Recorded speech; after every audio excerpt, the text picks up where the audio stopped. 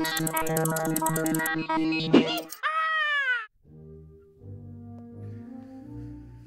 there, and welcome to Don't Be Dumb.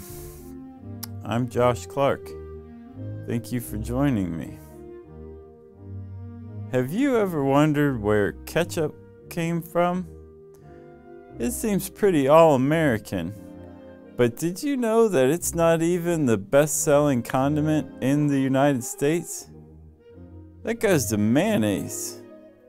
This got ketchup beat by a mile. It turns out that ketchup isn't even American. It's British. And really, it's Vietnamese. How about that?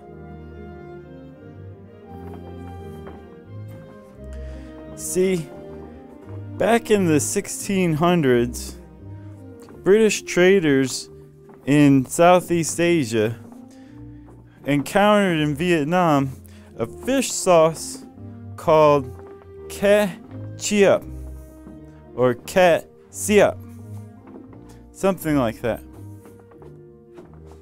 And the British traders brought it back to the UK, and the UK went crazy for it.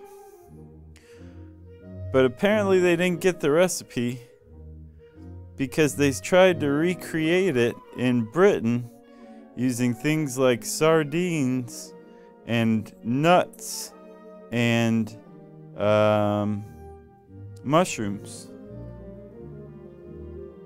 And then finally, in 1812, somebody thought to add tomatoes to the mix.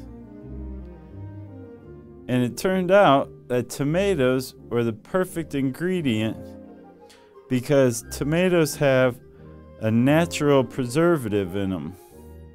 And when you add lots of vinegar, which is what's used in ketchup today, it preserves it even longer. At first, everybody called it catsup because that's a lot more like the Vietnamese word. And it was the Heinz company who first called their stuff ketchup because they wanted it to stand out from the crowd. So the next time someone says to you, Is that blood?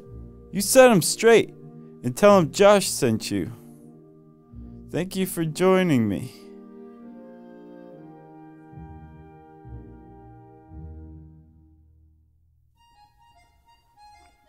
Do you have a suggestion for an episode of Don't Be Dumb? leave it in the comments below. You can also like this video or subscribe or share it. I don't care.